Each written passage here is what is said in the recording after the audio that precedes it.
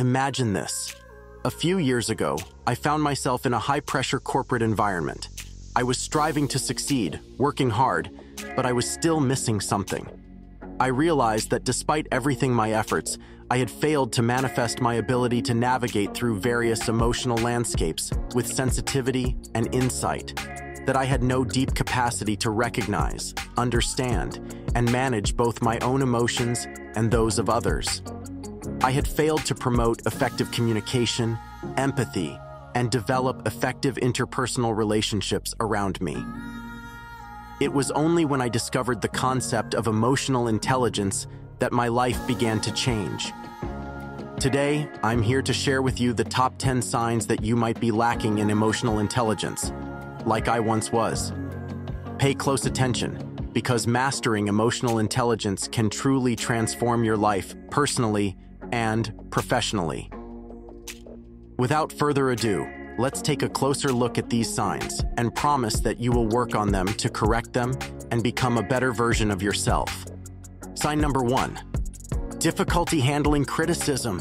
If you feel defensive or upset when you receive constructive criticism, this could be a sign that you are having difficulty with your emotional intelligence. Instead of reacting defensively, try to see criticism as an opportunity for growth. Sign number two, lack of empathy. Empathy is the ability to understand and share the feelings of others. If you have trouble connecting with people on an emotional level or understanding their points of view, this may indicate a lack of emotional intelligence. Sign number three, inability to manage stress. Stress is inevitable, but how we manage it is crucial. If you often feel overwhelmed or struggle to manage stress in a healthy way, this could be a sign that your emotional intelligence needs nurturing. Sign number four, difficulty establishing relationships. Meaningful relationships are built on trust, communication, and understanding. If you struggle to build or maintain relationships, it may be time to work on your emotional intelligence skills. Sign number five, tendency to blame others. Do you often blame others for your mistakes or faults? Taking responsibility for your actions is a key aspect of emotional intelligence. It's time to stop pointing fingers and start taking responsibility for your part. Sign number six, impulsive reactions.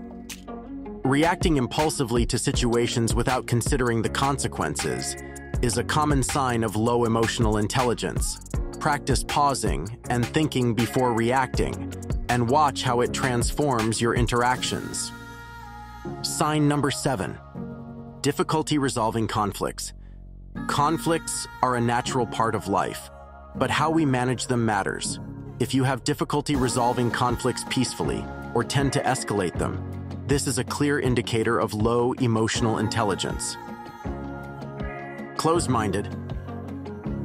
Being open-minded allows us to consider different perspectives and adapt to change.